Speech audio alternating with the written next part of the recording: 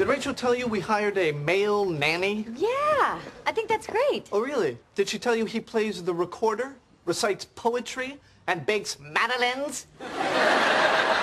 Oh, how are they? Lighter than air, but that's not the point. hey, hey. Rachel and I hired a male nanny. Really? Guys do that? That's weird. Thank you. Yeah, that's like a woman wanting to be a... A what? A what? What's the end of that sentence? Yes, what is the end of that sentence? Uh, a penis model.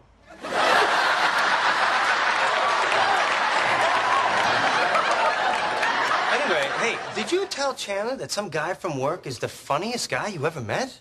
Yeah, so? Wow. Really? Do you not know Chandler? That why he's acting so weird? He's jealous? Oh my god, that is crazy. It's not like I'm attracted to Jeffrey. So what? Being funny is Chandler's thing. You know, like Ross's thing is...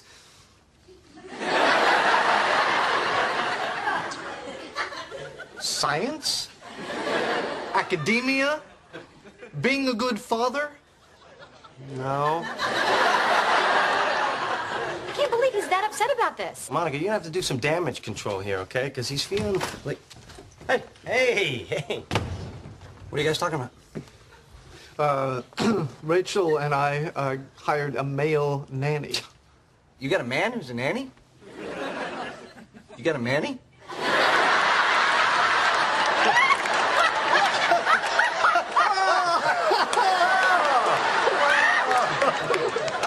You know, I don't mind a male nanny, but I do draw the line at male wet nurse. Oh,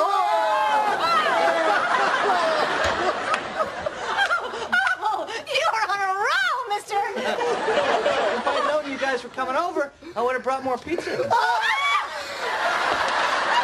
okay, sorry, you. You stop it. What is so funny about that? I don't know. It's, it's well, just the way you say it. I mean, you're funny. you got that funny thing. You're a funny guy.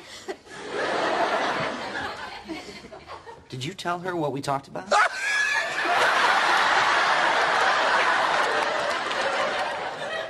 Yeah.